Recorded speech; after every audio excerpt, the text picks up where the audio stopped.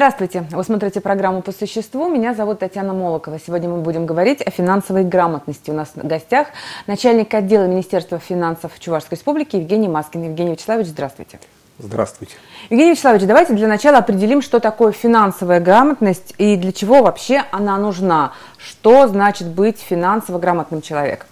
Вопросы финансов затрагивают все сферы жизни современного человека. Угу. И именно от уровня финансовой грамотности зависит в том числе и экономическая и социальная стабильность всей страны.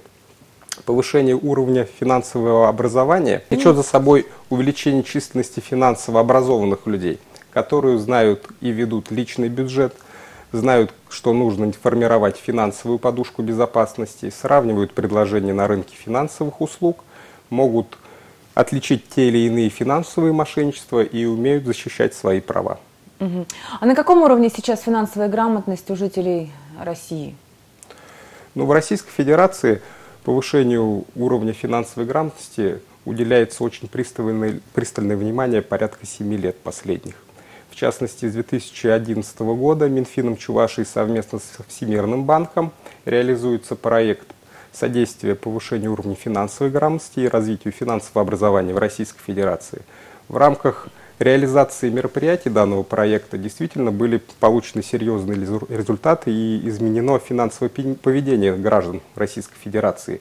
И в частности, вот в рамках проведенных исследований международных Россия занимает девятое место в группе 20 по финансовой грамотности взрослого mm-hmm. населения, а школьники наши российские вообще входят в топ-4 согласно международного рейтинга, обогнав и оставив за собой своих ровесников США, Австралии и Нидерландов. А вот какие мероприятия проводятся в рамках этой программы, вот что нам удалось достичь вот таких вот ну, неплохих результатов? Ну, действительно, у нас вот в Чувашии тоже очень плотное внимание уделяется повышению финансовой грамотности. Под общей координацией Министерства финансов органами государственной власти республики проводится регулярная системная работа по повышению финансовой грамотности и работы с различными категориями и группами социальными. В частности, с 2014 года мы на территории Чувашской республики участвуем во всероссийской программе «Дни финансовой грамотности» в учебных заведениях. Помимо этого, ежегодно участвуем в в неделях финансовой грамотности. Также при содействии Центробанка проводятся онлайн-уроки с учениками в сети интернет. Кроме этого, пенсионеры и вообще любые категории граждан, они у нас могут получить отдельные навыки, расширить свой кругозор в рамках недели сбережений.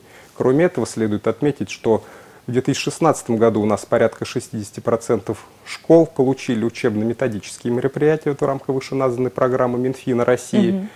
Эти учебные пособия, они используются в таких занятиях и предметах, как обществознание, экономика и внеучебных занятиях. И помимо этого мы в Чуваши, получается, продолжаем системную работу по закупке и предоставлению данных учебных пособий всем учебным заведениям. Ну и насколько я знаю, по-моему, там в шести школах столицы республики проходят финансовые уроки, такой предмет введен. Да, действительно сейчас не только в шести учебных заведениях, а вообще широкий круг образовательных организаций, угу. куда как образовательные программы внедряются. Эти все уроки и занятия по повышению финансовой грамотности. Угу.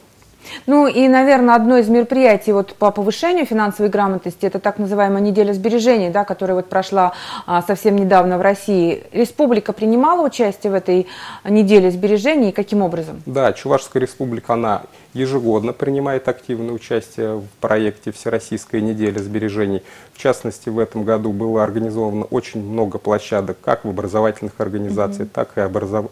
организациях сферы здравоохранения, спорта, культуры, промышленности. Причем следует отметить, что данные мероприятия и образовательные, и, так скажем, наглядные проводили в том числе и представители кредитных организаций mm-hmm. и страховых том числе нельзя не отметить, что в проведении данных мероприятий в качестве тьютеров и спикеров участвовали финансовые консультанты, которые подготовлены также по программе Минфина России и осуществляют свою деятельность абсолютно бесплатно. Угу. Если говорить об итогах, то у нас в Чувашии ориентировочно порядка 150-200 мероприятий были проведены вот в рамках этой недели сбережений. Угу. Ну и, наверное, финансово грамотный человек, конечно, особенно внимательно изучает э, деятельность и предложения банков э, кредитных организаций, да, вот как участвуют банки в финансовом просвещении населения? Ну да, все кредитные организации, они априори прямо или косвенно участвуют в финансовом просвещении. И вот в частности у нас есть очень наглядный пример республики. При общем взаимодействии и координации Министерства финансов совместно с Чуваш Кредитпромбанком ежегодно разрабатываются интерактивные книжки-раскраски для младших школьников, организовываются викторины с вручением ценных призов. В частности, в 2016 году была запущена телевизионная программа «Личные деньги», которая как раз-таки раскрывала все приоритетные и актуальные вопросы финансовой грамотности. Угу. И в текущем году мы также продолжили и запустили в эфир второй цикл данных угу. телепередач. Угу. Ну, я так понимаю, что, наверное, а, вот для повышения финансовой грамотности населения нужна какая-то а, государственная программа поддержки. Вот расскажите об этом. Какие цели и задачи? Вообще есть ли такая программа и какие у нее цели и задачи? Да, в сентябре этого года правительством Российской Федерации была принята стратегия повышения уровня финансовой грамотности в Российской Федерации на период 17-23 годы. Целью стратегии является создание основ для финансограмотного населения как необходимость повышения уровня и качества жизни при, с учетом использования в том числе финансовых продуктов угу. и услуг надлежащего качества – Широкий спектр мероприятий и задач в этой стратегии обозначен, в том числе это внедрение элементов финансовой грамотности в учебные программы.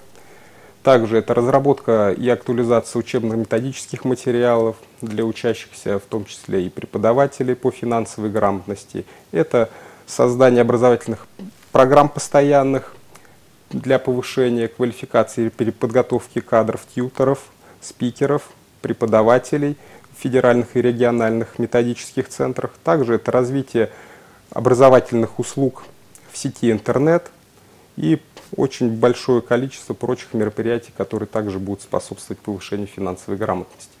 Ну, наверное, действительно, это очень важное дело. Все-таки э, финансовая грамотность позволяет людям жить лучше и да. заботиться о своих финансах, о своем семейном бюджете, личном бюджете.